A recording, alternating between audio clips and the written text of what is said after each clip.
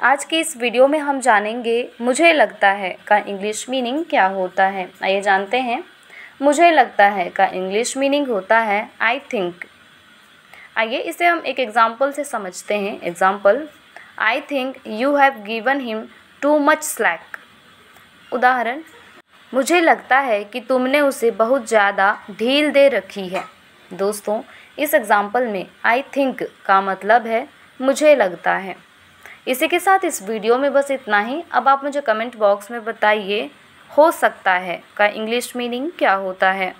thank you